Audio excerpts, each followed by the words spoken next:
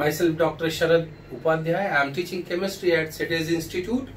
And here I am taking part 2, chemistry part 2 for class 11 as well as 12. And the best thing about our Shete's Institute that their management will never going to interfere with the teaching process.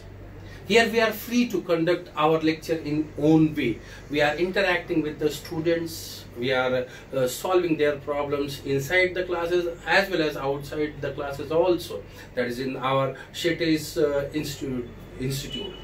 And the best important point over here is that we are getting the priority to teach in our own way.